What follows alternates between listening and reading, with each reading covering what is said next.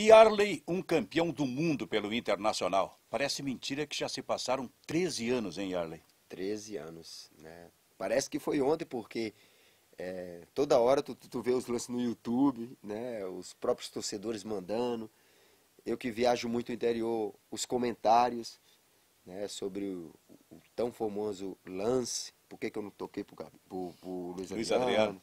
Por que, que eu toquei pro Gabiru? A caneta do Puyol. Então tudo isso está muito vivo ainda na, na minha memória e na memória do torcedor. E, e passados 13 anos, como tu dizes, então tem gente que tem muito torcedor que conversa contigo, tu mesmo, volta e meia, te surpreende lembrando de alguma coisa. Imagino que em casa até vocês daqui a pouco estão trocando ideias, esse tipo de coisa. Sem dúvida, porque tem muita gente que não assistiu. A geração nova, ela está surgindo e, claro, é, a gente fica muito feliz e a gente agradece aos pais porque eh, eles estão formando os novos torcedores. Então, os meninos, eles vêm para conversar contigo sabendo os detalhes, né? Assistir os jogos várias vezes, né? Então, a gente discute com ele, a gente fala, a gente tem que relembrar, a gente tem que dizer o porquê. Então, é isso é muito bacana e sempre vai estar vivo na nossa memória por isso. E o gol te vem, vem à memória a todo momento. Todo momento, eu sei detalhes, né?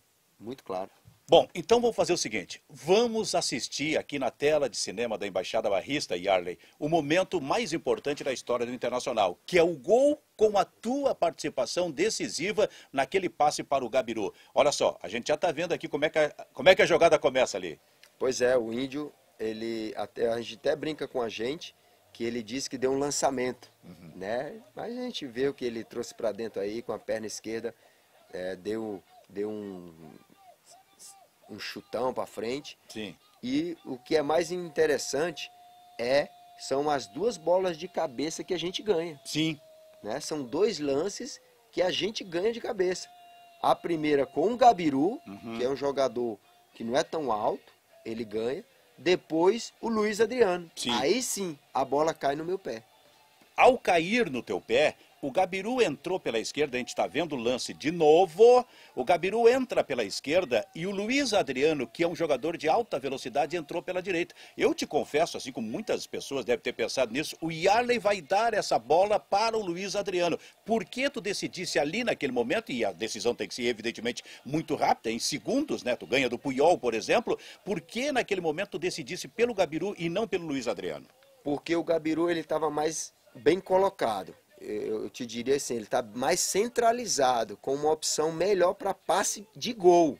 Porque a gente tem que decidir para o jogador que está em melhores condições para fazer o gol. Sim. E ele estava em melhores condições para fazer o gol.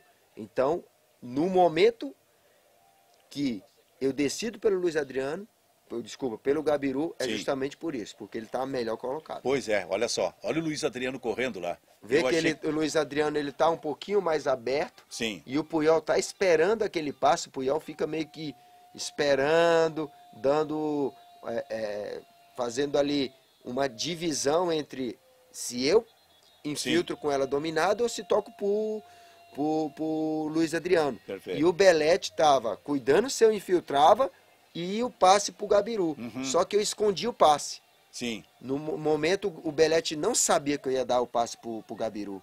E aí eu viro o pé, pau, rápido. Sim. E aí quando ele quis ir, não deu mais tempo. Era um momento. inte- Isso aí então foi uma jogada absolutamente interessante e, e poderia ser surpreendente a qualquer momento para o Barcelona. Por quê? Primeiro, tu e Arley podia fazer a jogada individual. Eu podia. Enveredando para a área e Isso. tu tentando o gol. E eu tentei aí, ó. Sim. Eu vou, eu Ah. vou, vou olhando. Aí tu olhasse pela passagem do Luiz Isso. Adriano. Só que o, o Puyol, ele fica ali me cuidando. Sim. Você vê que ele tá.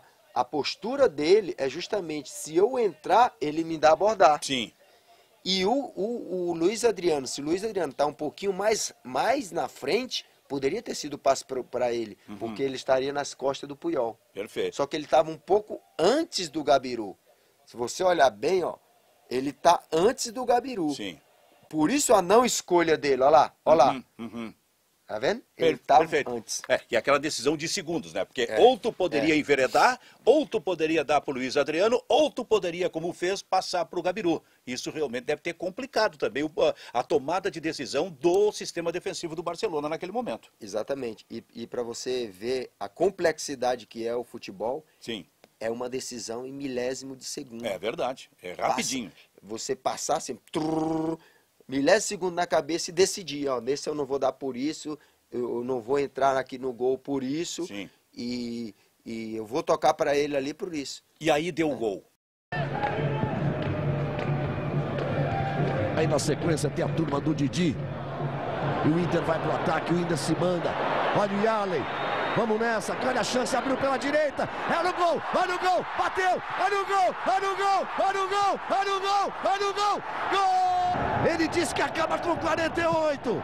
Bateu Kleber, acabou!